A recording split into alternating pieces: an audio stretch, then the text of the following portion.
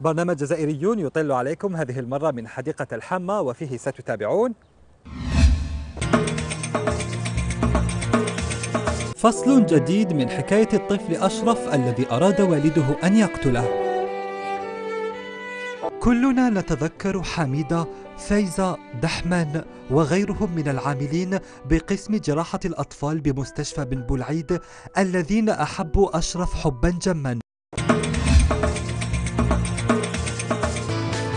كرة الجرس رياضة مفيدة للمكفوفين.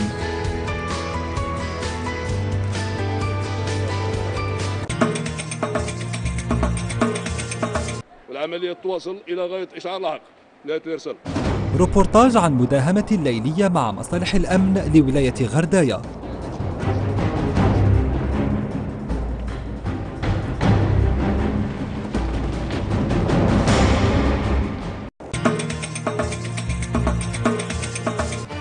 العادات والتقاليد الجزائرية في مصر مدحول مجزول.